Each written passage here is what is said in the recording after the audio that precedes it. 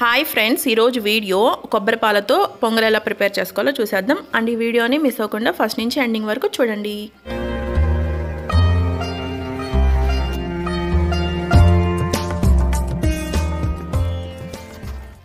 కొబ్బరి పాలతో పొంగల్ చేసుకోవడానికి ఫస్ట్ బియ్యం నానబెట్టుకోవాలి.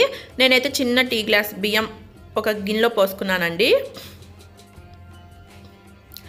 అండ్ ఒక రెండు స్పూన్లు కందిపప్పు వేసుకున్నాను. ఇప్పుడు బియ్యం కందిపప్పు ఒక మూడు సార్లు ట్యాప్ వాటర్తో వాష్ చేసుకోవాలి.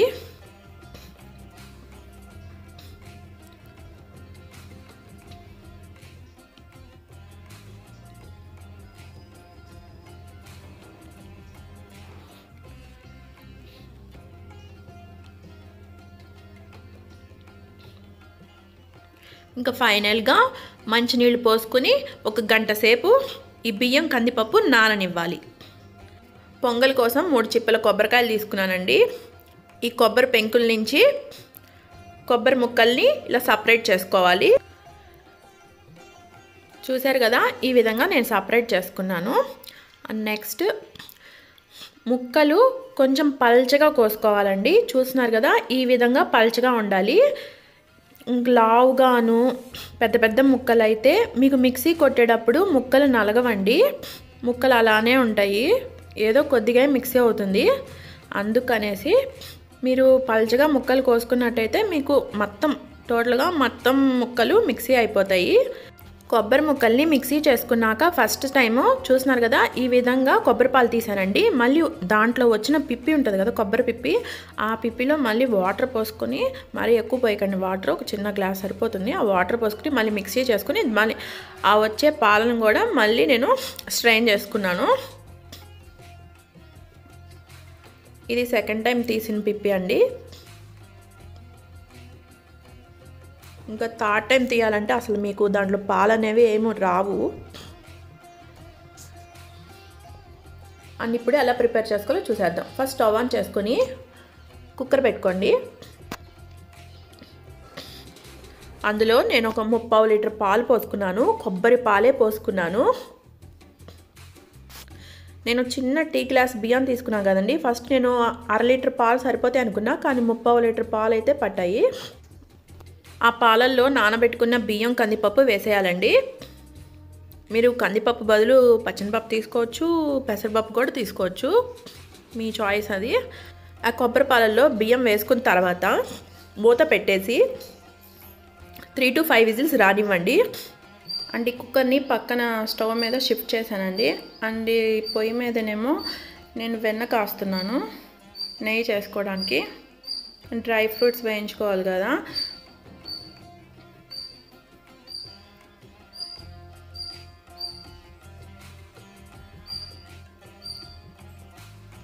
ఇప్పుడైతే నెయ్యి రెడీ అయిపోయిందండి. ఇందులో జీడిపప్పు కిస్మిస్ వేసి గోల్డెన్ కలర్ వచ్చేంత వరకు ఫ్రై చేసుకోవాలి.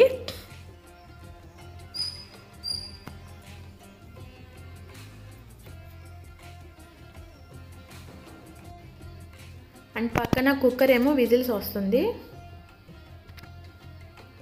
నేనైతే త్రీ విజిల్స్ వచ్చేంత వరకు ఉడికించుకున్నానండి. అంటే మీ కుక్కర్ని బట్టి మీరు వీలైతే త్రీ కానీ ఫైవ్ విజిల్స్ కానీ వచ్చేంత వరకు ఉడికించుకోండి. అండ్ నేను త్రీ విజిల్స్ వచ్చాక స్టవ్ ఆఫ్ చేసుకున్నాను.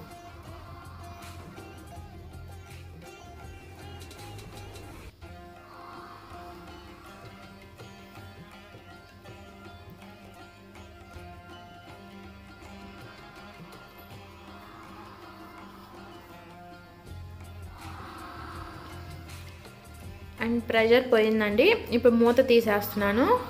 కొబ్బరి పాల్లో ఉడికించుకున్నాం కాబట్టి పైన అంతా ఎలా పేరుకుందో చూశారు కదా? మీగడలాగా పేరుకుంది. ఇప్పుడు మళ్ళీ స్టవ్ ఆన్ చేసి ఫ్లేమ్ వచ్చేసి బాగా లో ఫ్లేమ్ పెట్టుకోండి. బెల్లం వేసానండి నెక్స్ట్. బెల్లం ఎంత తీసుకున్నానంటే పావు కిలో కంటే కొంచెం తక్కువగానే తీసుకున్నాను. ఎందుకంటే నేను వేసిన కొబ్బరి చిప్పల్లో ఒక రెండు కొబ్బరి చిప్పలు అయితే బాగా స్వీట్గా ఉన్నాయి. ఒకటైతే స్వీట్లెస్గా ఉందండి. అందుకే నేను పావు కిలో కంటే తక్కువ బెల్లం వేసుకున్నాను. అండ్ ఇలాచీ పౌడర్ని ఏమో షుగర్లో మిక్సీ కొట్టుకొని ఇలాచీ పౌడర్ వేసుకున్నాను. ఇలాచీ పౌడర్ బెల్లం వేసుకున్నాక ఇలా కలుపుకోవాలి ఒకసారి మొత్తం కలిసేటట్టు. అండ్ నేను స్వీట్ సరిపోయిందో లేదని కొంచెం ట- అలా టేస్ట్ చూశాను. సరిపోయింది స్వీట్ అయితే సరిపోయింది. మీ కొబ్బరి చిప్పలు కొంచెం స్వీట్ ఎక్కువ ఉంటే కొంచెం బెల్లం అనేది తగ్గించుకోండి. లేదు స్వీట్ లేదంటే కొంచెం బెల్లం అనేది ఎక్కువ వేసుకోవచ్చు. అండ్ మధ్యలో కలుపుతూ ఉండాలండి లేకపోతే అడిగంటేసిద్ది. పొంగల్లో బెల్లం వేసాం కదండి బెల్లం అయితే కరిగిపోయింది. స్టవ్ ఆఫ్ చేసుకుని అందులో డ్రై ఫ్రూట్స్ వేసేసుకోవాలి. నెయ్యితో సహా వేసుకోవాలి. ఈ పొంగల్లో నెయ్యి ఎక్కువ వేసుకుంటేనే టేస్ట్ బాగుంటుందండి. డ్రై ఫ్రూట్స్ వేసుకున్నాక అలాగా మొత్తం కలిసేటట్టు కలుపుకోవాలి. అండ్ ఇప్పుడు ఈ పొంగల్ని ఒక బౌల్లోకి తీసుకుందాం.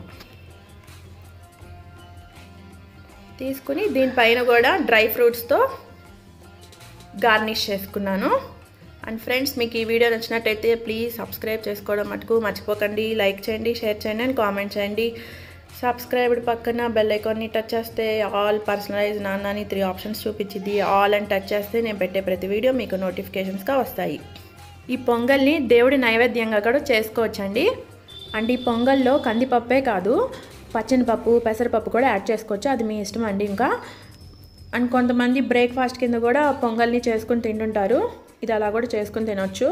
పాలతో చేసిన టేస్ట్ కంటే ఇంకా కొబ్బరి పాలతో చేసుకుంటే ఇంకా సూపర్ టేస్ట్ వస్తుందండి. అద్రిపోద్ది టేస్ట్. మీరు తప్పనిసరిగా ట్రై చేసి చూడండి. అస్సలు మిస్ అవ్వకండి ఈ రెసిపీని. అండ్ ఫ్రెండ్స్ ఇంకొకసారి గుర్తు చేస్తున్నాను మీకు ఖచ్చితంగా లైక్ అయితే చేయండి. వీడియోకి మీరు ఎన్ని లైక్స్ చేస్తే నాకు అంత సపోర్టివ్గా ఉంటుంది. ఇంకా వీడియోస్ చేయాలని.